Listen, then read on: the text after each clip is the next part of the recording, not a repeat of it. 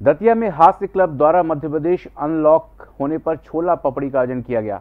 यह कार्यक्रम कोरोना काल में सामाजिक कार्य करने वालों के मेल मिलाप के लिए किया गया। छोला पपड़ी हल्की और बेहतरीन डिश है और प्रदेश के गृह मंत्री डॉक्टर नरोत्तम मिश्रा की यह पसंदीदा डिश है।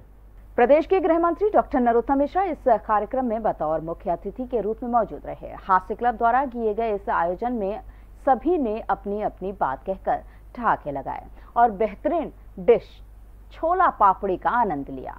कार्यक्रम को देखकर लगा जैसे वाकई अब आम आदमी की ज़िंदगी पटरी पर लौटने लगी है, लेकिन इस समय अभी भी ज़रूरी है कि सोशल डिस्टेंसिंग और कोरोना नियमों का ख्याल रखें।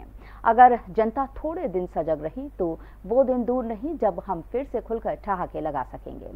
फिर से ज़िंदगी पटरी पर आ जाएगी। तो माननीय मंत्री जी ने दतिया में जो विकास कार्य किए हैं, और माननीय मंत्री जी ने दो दतिया की जनता के दिलों में अपना स्थान बनाया है और उसमें से एक हास्य क्लब भी है, जिन, जिन्होंने माननीय मंत्री जी के साथ, माननीय मंत्री जी ने उनके भी दिलों में स्थान बनाया है और माननीय मंत्री जी के सम्मान में हास्य क्लब हमेशा जो है लगभग लगभग साल में दो तीन प्रोग्राम छोला पपड़ी के करते हैं।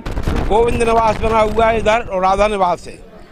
और यहाँ पर महाराज रहते थे इस तालाब में पानी भरा रहता था इसमें जल विहार किया करते थे। और यहाँ बैठकर ये जो बारह दरी है आप देख रहे हैं यहाँ संगीत सभा होती थी। महाराज बैठते थे और दतिया के बड़े बड़े संगीतकार अपने संगीत का प्रदर्शन करते थे। इस कारण यह स्थान एक अति महत्वपूर्ण स्थान है और यह हमेशा पिकनिक स्पॉट रहा है।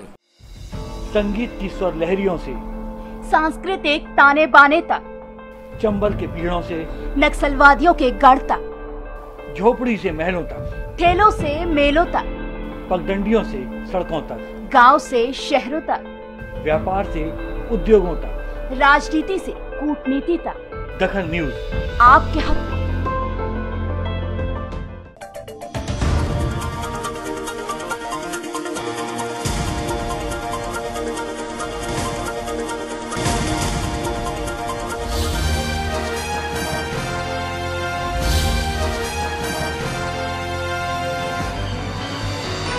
आप देख रहे हैं दखल न्यूज़।